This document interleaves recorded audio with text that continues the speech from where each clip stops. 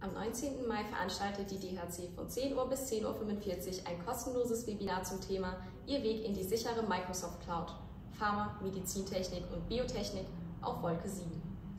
Den Link zur Anmeldung und weitere Informationen finden Sie wie immer auf unserer Website unter www.dhc-consulting.com unter der Rubrik Termine. Falls Sie an diesem Termin keine Zeit haben sollten, ist das überhaupt kein Problem.